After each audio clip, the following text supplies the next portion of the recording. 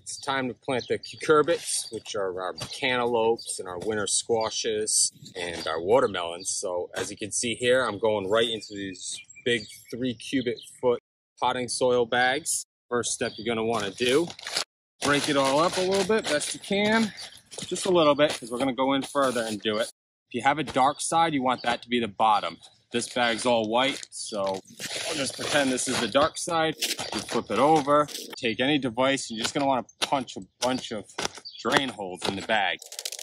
When you're making your holes, I like to make a circle with this knife. You can use a saw. You want a rough cut. You don't want like a razor blade cut because if it's very thin, it can get clogged and wouldn't function as a drain hole. So keep that in mind. Now they got my holes.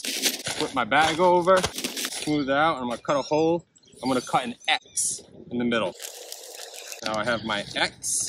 Watermelons, cantaloupes, winter squashes, growing in bags is a stretch to begin with. I'm gonna be honest with you, I've never done it before. And why I say that is because they're gonna be heavy fertilizers. So I'm gonna put some Osmocote in here. It's just a gradual, slow time release fertilizer granule mix. So I'm just gonna open it up and I'm gonna sprinkle it in on the surface as evenly as I can. You can move, use your hand and mix it up. You don't want pockets of this because that's how you can get burned. So now that I mixed it, take these two bad Larrys and I'm just going in there.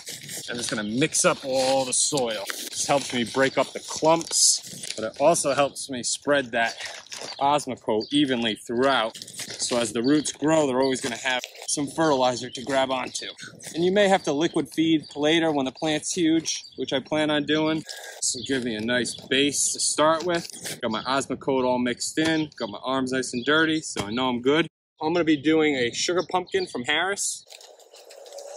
So as you can see, I have my individual plants that I seeded in cells. And when you're planting things like cantaloupe, winter squashes, we like to do groups of three. Cucumbers, depending on how you're growing and if you're just letting them vine out. We like to group groups of three. So I'm gonna pop out three, three plants that look the healthiest and closest in size set those aside. So now I have my three plants and I'm just gonna a little circle. They can go right next to each other. Some places when you buy the plants, they're already seeded three into a little pot and you're just planting that pot. So they don't have to be spaced far apart. So I got my three plants in. I'm just gonna tuck the edges under.